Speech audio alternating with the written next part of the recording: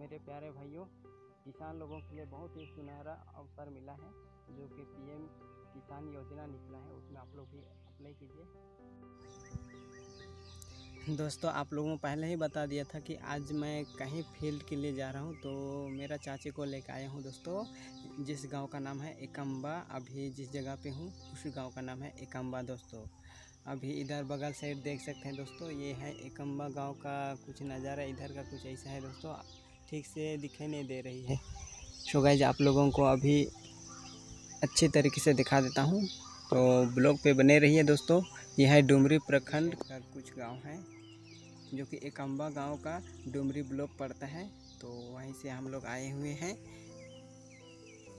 ये है मेरा बाइक दोस्तों, देख सकते हैं। ये हमारा बाइक है और इधर का नज़ारा को आप लोगों को दिखा दे रहा हूँ। इधर हम लोग डुमरी जाते हैं दोस्तों, और इधर पीछे शायद दोस्तों, यहाँ से हम लोग जाते हैं महुआ डार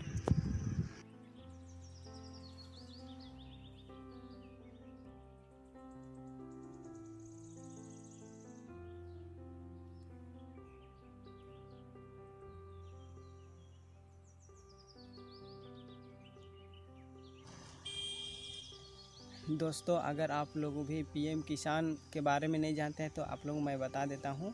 काफ़ी दिनों से मैं भी पीएम किसान वाला के लिए यहाँ फ़ील्ड के लिए आते रहता हूँ, मेरे चाची को लेके। तो आज आए हैं एकम्बा गाँव। यहाँ पीएम किसान वाला फॉर्म भरवा रहे हैं सारे किसान लोगों को। कुछ कुछ लोगों को दोस्तों, सारे को नहीं, कुछ लोग भर रहे हैं, कुछ लोग नहीं भर रहे हैं। तो आप लोग बता देता हूँ दोस्तों, हर ब्लॉक में पीएम किसान वाला फॉर्म आ चुका है, आप लोग भी अप्लाई कीजिए। उसमें से आप लोगों को दोस्तों, जब अप्लाई करोगे तो आपका पास हो जाएगा तो आपको, आपका मोबाइल या अकाउंट में आ जाएगा पचास हज़ार। तो गाइज़ खेती बाड़ी के लिए पचास हज़ार काफ़ी है दोस्तों। आप लोग भी अगर उसमें जुड़ना चाहते हैं तो ज़रूर जुड़िए और आपको भी ज़रूर बेनिफिट मिलेगा। तो दोस्तों, आप लोगों को मेरा इतना ही इन्फॉर्मेशन देना था। तो गाइज़ आप लोग ज़रूर जानते होंगे। दोस्तों, आप लोग समझदार हैं, जाइए और अभी के अभी अपने ब्लॉक में पता कीजिए, पीएम किसान वाला मुझे भी फॉर्म अप्लाई करना है तो आप लोग जाइए और अप्लाई कीजिए दोस्तों। अभी हम पहुँचे हैं दोस्तों बार टोली इस जगह का नाम है बार टोली अभी ये सामने वाला घर में घुसे हैं अभी इस घर का, इस घर वाले मालिक का एक फॉर्म भरेंगे, फिर यहाँ से जाएँगे, इस रास्ते में सीधे इधर, पता नहीं क्या गाँव है तो वहाँ पहुँचने के बाद आप लोगों को गाँव का नाम भी पता चल जाएगा। अभी फ़िलहाल को कंटिन्यू करते हैं। फ़िलहाल आप लोग इधर का नज़ारा को देखिए। कितना खूबसूरत लग रहा है दोस्तों, चारों ओर मस्त हरियाली दिखाई दे रही है। देख सकते हैं, गाँव देहातों में इतना मस्त चारों ओर हरियाली रहता है दोस्तों। शायद बहुत कम लोग जानते होंगे कि गाँव देहात में कैसे रहते हैं और यहाँ के रहन सहन किस तरीके रहता है।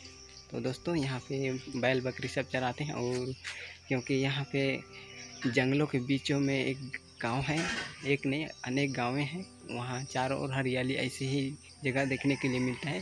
तो मैं आप लोगों को इस ब्लॉग के थ्रू दिखा रहा हूँ दोस्तों, आप लोग शायद शहरों में रहते हैं और ऐसी जगह शायद ही बहुत कम देखते हैं। देखिए, काफ़ी खूबसूरत दिखाई दे रहा है गाइज़ काफ़ी मस्त लग रहा है यहाँ का लोकेशन और नज़ारा देख के। तो दोस्तों, आप लोग मुझे नीचे कमेंट बॉक्स में बता दीजिएगा कि यहाँ का सीन आप लोगों को कैसा लगा। इधर देखिए, काफ़ी खूबसूरत यहाँ का जगह है दोस्तों। डुमरी प्रखंड का ब्लॉक का क्या बोलते हैं? बारटोली गाँव है। डुमरी प्रखंड ब्लॉक पड़ता है इसका। तो इस, ये गाँव का नाम है बारटोली। काफ़ी मस्त यहाँ का लोकेशन दिखाई दिया। यहाँ पे एक छोटा सा चप्पन नल है दोस्तों। देख सकते हैं, काफ़ी खूबसूरत यहाँ का नज़ारा दिखाई दे रहा है।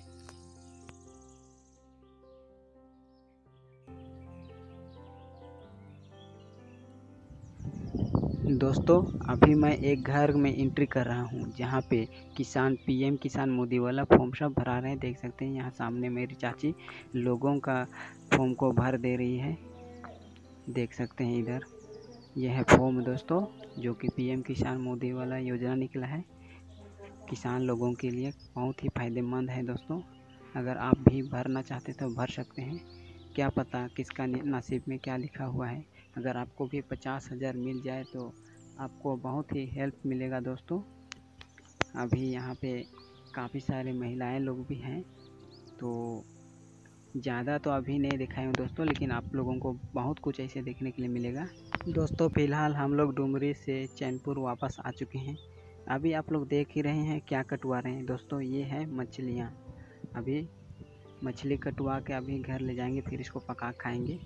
तो दोस्तों, आज मीट खाने का मन किया तो अभी इसको लेके जाएँगे। फ़िलहाल अभी हम लोग चैनपुर में है दोस्तों।